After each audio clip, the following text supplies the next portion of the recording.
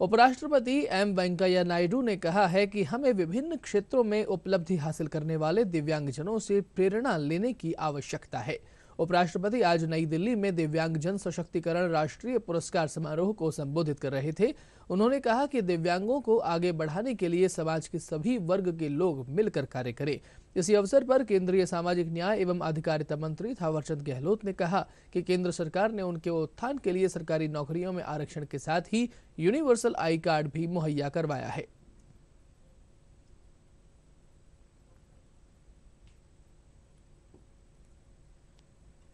urgent need to provide right to nutrition and care to pregnant mothers and young children also create good and accessible medical facilities across rural India.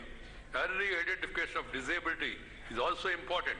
This will enable us to undertake effective interventions from the beginning for rehabilitation measures and empowerment of the affected persons. There is a need to harmonize immunization हमने नया कानून बनाया है पहले दिव्यांगों की सात श्रेणियाँ होती थी। अब 21 श्रेणियाँ कर दी गई है।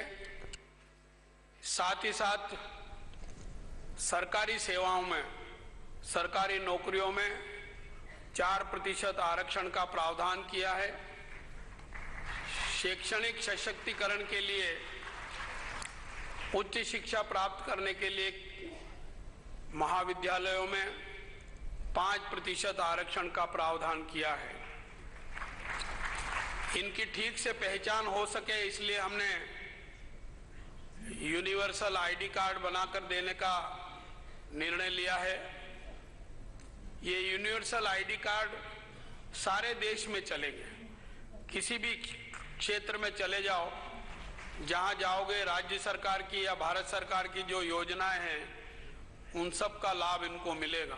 पाँच, साढ़े पाँच वर्षों में दिव्यांगजनों के सशक्तिकरण के लिए एक नहीं, अनेक ऐतिहासिक निर्णय लिए हैं कार्य योजनाएँ बनाई है और उन कार्य योजनाओं को कार्यान्वित करने में सफलता प्राप्त की है। इन पाँच वर्षों में हमने सात Guinness book of world record बनाए हैं।